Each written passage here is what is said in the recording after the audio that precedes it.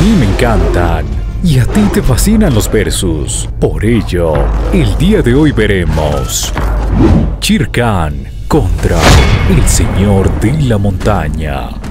Dos de los tigres más imponentes del cine. El uno a prueba de balas y el otro capaz de derrotar a un oso grizzly sin sufrir lesión alguna.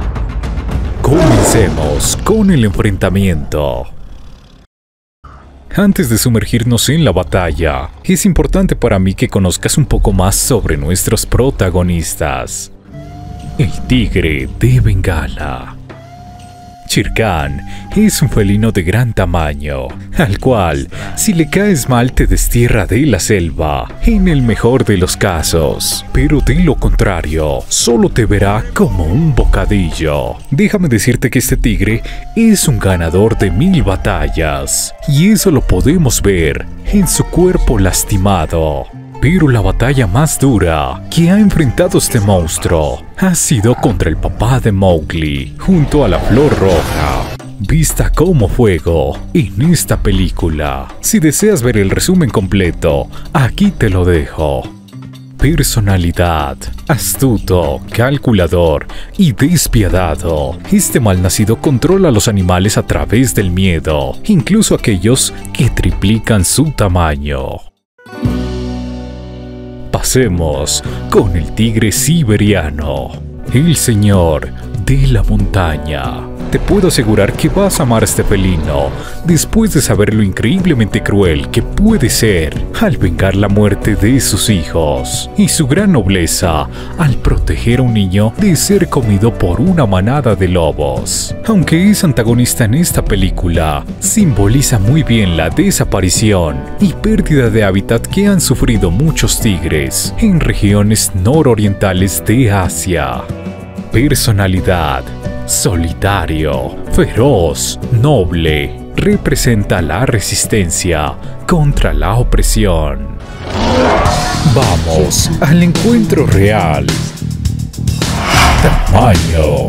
El tamaño máximo de Chirkan lo podemos encontrar al compararlo con el leopardo y Mowgli. Este niño de unos 10 años mide un aproximado entre 1,30 a 1,35, siendo casi de la misma altura que Bagheera. Y sí, es verdad que esto es surrealista, pero déjate invadir por la ficción. Ahora, la altura máxima de Chirkan podría estar rondando entre el 1,40 y 1,45 al hombro. Para un félido de estas dimensiones, un peso más que apropiado sería entre 450 y 500 kilogramos.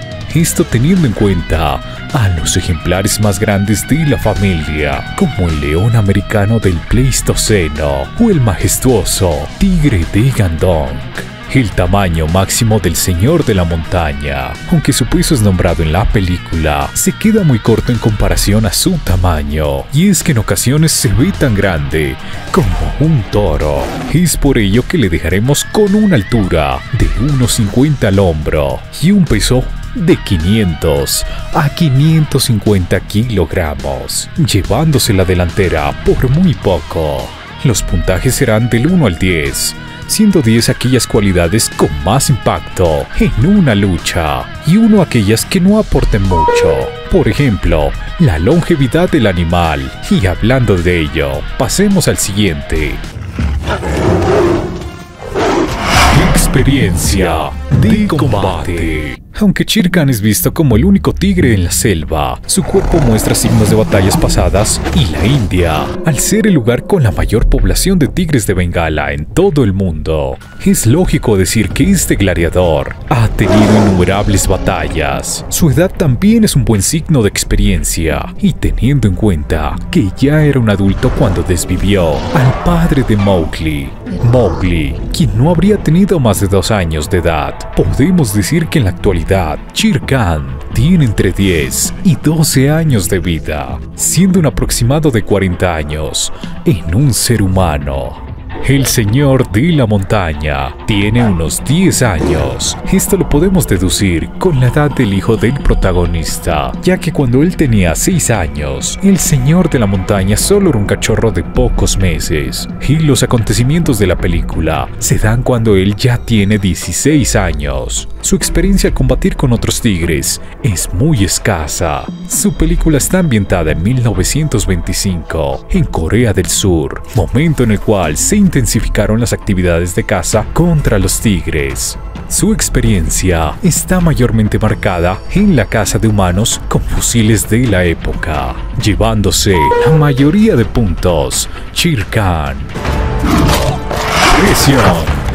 Mordida. Estos dos animales demuestran tener casi la misma presión de mordida, y es que ambos gaticos matan a un lobo en solo cuestión de segundos. Chirkan en esta escena, donde derrota al padrastro de Mowgli, y el señor de la montaña, en esta otra, donde intimida toda una manada de lobos. Es por ello que les damos el mismo puntaje, 5 a 5, y no un 10 a 10, porque si fuera sumamente importante la presión de mordida en una batalla de félidos, el jaguar vencería muy fácilmente al león africano. Sentidos. Aunque ambos ejemplares cuentan con sentidos muy similares, déjame recordarte, mi amigo, que Shere Khan es ciego de un ojo. Este demonio de la selva perdió un ojo enfrentando la flor roja, lanzada por las manos del padre de Mowgli. Pero luego vi la película del Señor de la Montaña y me di cuenta que también es ciego de un ojo, pero este sí es de nacimiento. Esto merece un punto más en experiencia de combate para Chirkan. Sí, señor.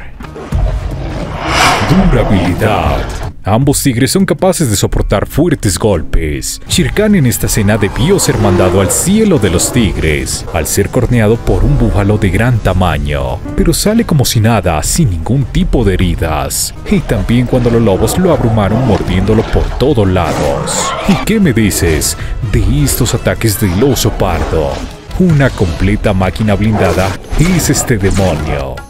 Pero el héroe y señor de la montaña se ríe de estos simples ataques. Y es que el felino soporta heridas de bala, y no una vez, sino decenas de veces, incluso aquellas que impactan en su rostro, haciéndolo casi invencible, de no ser por las caídas de grandes alturas. Es por ello que le daremos un 7 a 3, siendo la durabilidad importante, pero tampoco demasiado en un combate. Recordemos que hay registros en la naturaleza de un tigre cazando un rinoceronte indio hembra en estado completo de madurez.